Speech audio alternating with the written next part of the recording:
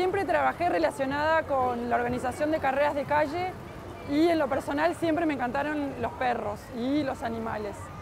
Y bueno, Dog Run surge de la unión de estas, de estas dos pasiones, que bueno, es eh, organizar algo donde las personas pudieran venir acompañadas de su mejor amigo.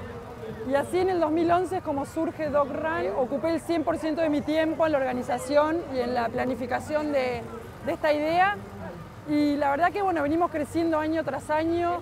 La importancia para nosotros es transmitir los valores que, que Dog Run genera, que es bueno, el compañerismo, la responsabilidad, es la familia, es poder compartir con tu perro el hecho de hacer actividad física y deporte.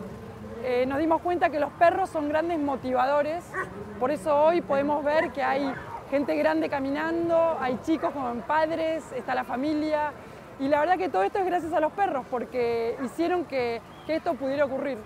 Que se va logrando el sueño que yo planteé allá hace tiempo y podemos ver que se generó una comunidad que hoy por hoy le interesa lo que nosotros transmitimos y lo que generamos durante todo el año, que es contenido para que la gente realmente tenga tenencia responsable y eh, bueno, se, se preocupe por que su perro tenga la mejor calidad de vida, porque realmente lo natural para ellos es correr y es hacer actividad física. Y yo creo que se genera una, relación eh, donde el perro actúa como un motivador, ¿no?